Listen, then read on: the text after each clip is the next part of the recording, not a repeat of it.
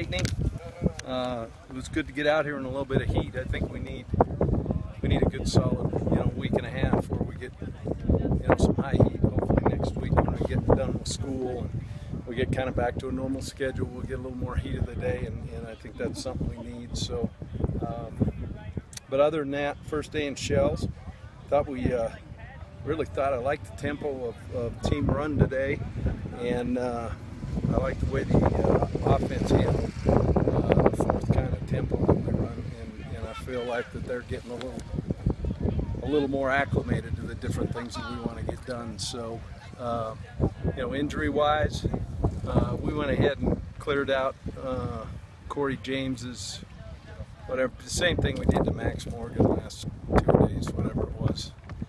Uh, just kind of